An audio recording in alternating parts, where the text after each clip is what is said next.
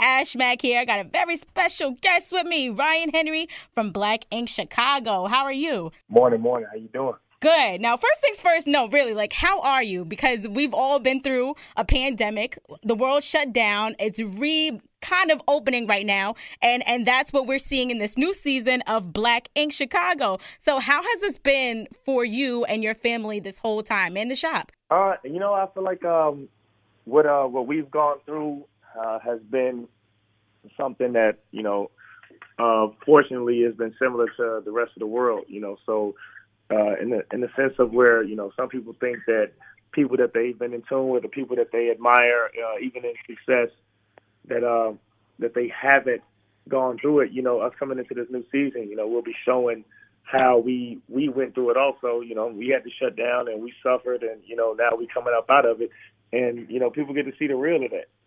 Right. Now, what were some challenges you feel like you might have been going through with this? Because I really feel like going into 2019, into 2020, everything was about to really pop off. Then the world stopped and it was like God just pulled the rug from everybody. It was like, hold on, wait. You got to do some work real quick on yourself. yeah, we, we all, I think we all kind of felt like, yeah, man, it's about to be our year. We're about to do this, about to be the best year. And that sit down, um, it allowed for everybody uh, forcefully to you know, start taking a look at the things that they thought they were going to do, and then you know the things that was in between, what was going to happen. You know what I mean? So for me, you know, it was more like, hey man, you can, you know, for me, I, I was putting everything in the works. I was working my hardest, but I wasn't dealing with certain things on the outside. Um, or well internally uh, more so, and then having to sit down and then focus on those and be forced to deal with them. Right. You know, uh, it it it forced it forced us to to have to deal with those type of things, and in doing that, you know, what I mean, a lot of things happen, uh, good and bad. You know, what I mean, some less favorable, and then you gotta, you know, you gotta you gotta take that at face value. Right. So, what does that look like for this upcoming season when it comes to you individually and collectively with doing that inner work and inner healing with Nine Mag? Well, I mean, for me, you know, it uh, it allowed for me to uh, have to basically, you know, put all my stuff on the table because, like I said, when you're forced to to deal with, you know, the things that you're not dealing with, you know, it'll end up, you know, juggling to you, blow up in your face. You know, what right. I mean? And uh, you know, unfortunately, I was one of the people who did that.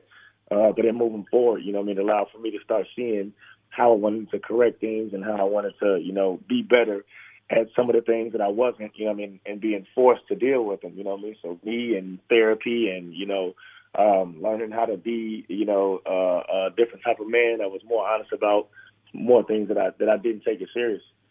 So, what do you think has been your biggest lesson so far, and that we're going to see on this upcoming season? Um, I feel like, um, in a in a nutshell, um, people are going to be able to see me uh, finally, you know, putting uh, myself first, which over the last, you know, six seasons, you know, I hadn't done, and it's you know, it's bit me in the back, you know, many a times. But and, you know, in in failure and in doing that, you know, I've learned to want to be able to put myself first uh, because it allows for me to be a better leader, a better friend, a better boss, you know, uh, just a better person overall. Right. And you know, sometimes within the last six seasons, we've seen all different types of versions of, of Ryan. We've seen friend, we've seen the brother, we've seen the lover, we've seen the villain. You know, which which version of Ryan are we really gonna get this season?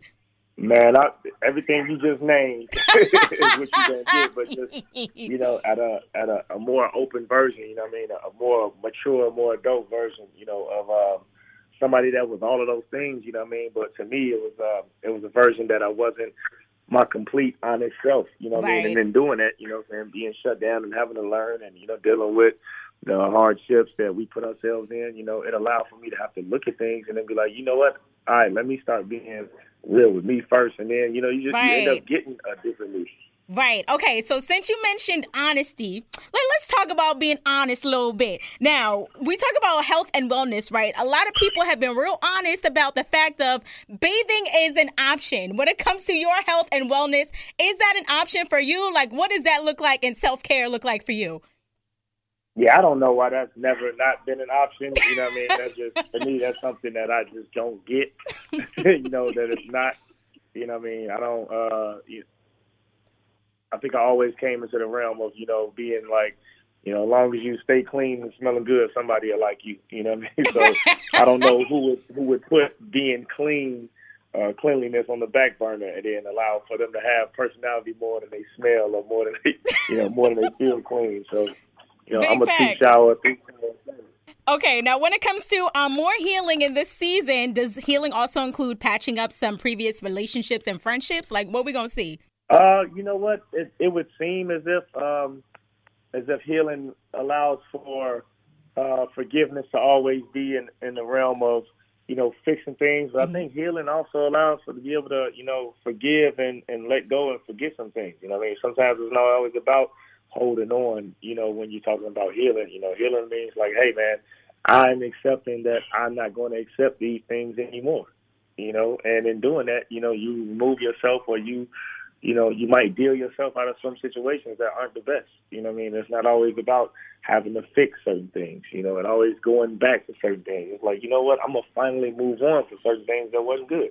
Now, when you're speaking of moving on, right? Are we also going to see more of an expansion from Nine Mag? Like, are you going to hit new cities? Like, wh- how are we going to see this within this new season or just years to come? Yeah, I mean, I, I you know, these were these are some of the things, uh, like I said, that I've come into and learning business and you know, trying to uh, trying to grow and expand in certain things.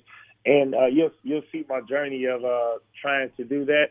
But I mean, it's always wrenches that get thrown in. So you know, sometimes you might have to take a step back and what your plans might be to handle, you know, more things how you want. Just like how we thought we were coming into 2020, and then you know, got to let that down. So.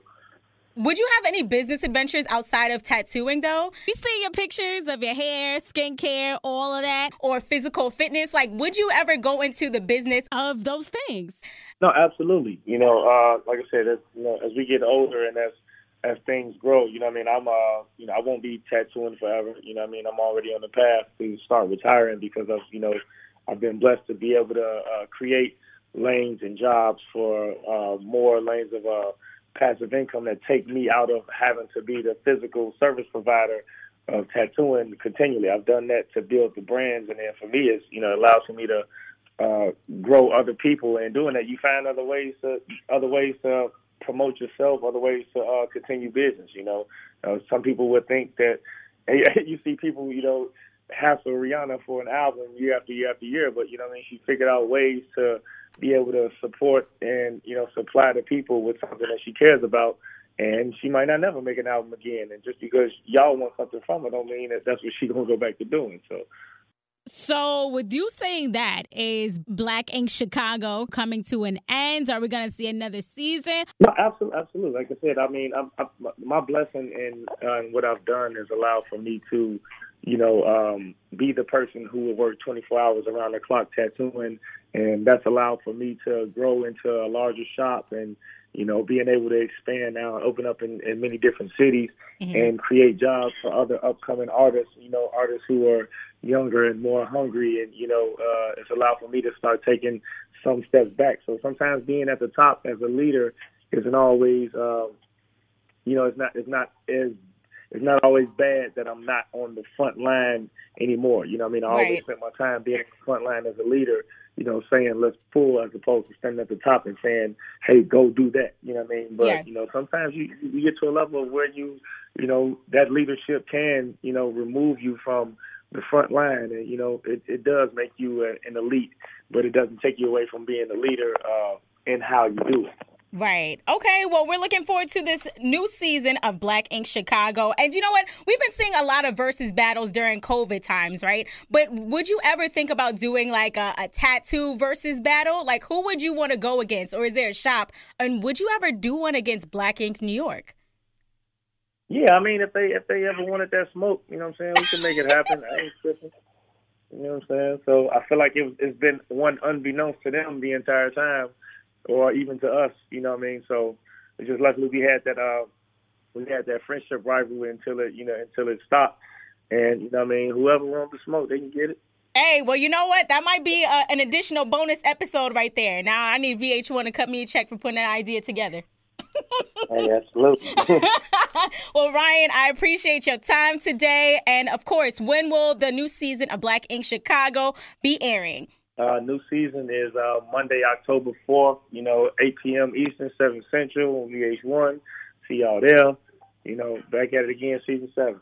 Facts. And where can everyone find you at? Social media and all. Yeah, everything for me is uh is uh, Ryan Henry Tattoo and uh Mag Tattoo. So uh, that that was Instagram, Twitter, you know, websites, all the same. Ryan, I appreciate your time for today. And before you go, I had to tell you, my mom said, tell Ryan he is so handsome. Like, okay, mom, I'll tell him for you. That's all I said. Thank you. we'll do. We'll do. All right. Have a great day. All right. All right. Appreciate it. You too.